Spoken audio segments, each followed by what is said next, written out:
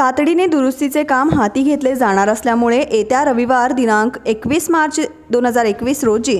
सकाळी दहा ते सायंकाळी सहा वाजेपर्यंत बेळगाव शहरातील वीज पुरवठा खंडित केला जाणार असल्याचे हेस्कॉमने कळविले आहे. बेळगाव शहरातील रविवारी सकाळी दहा ते सायंकाळी सहापर्यंत वीज पुरवठा खंडित केले जाणारे भाग पुढीलप्रमाणे आहेत.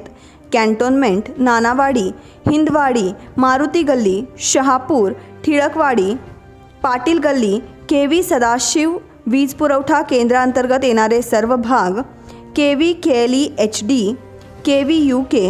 Indal Kangrali B K industrial area Autonagar Vaibhavnagar Shivajinagar Sadashivnagar I C M R Jinabakul civil hospital HESCOM तरी नागरिकांनी सदर खंडित वीज पुरवठ्याची नोंद घेऊन सहकार्य करावे असे आवाहन हेस्कॉमने केले आहे.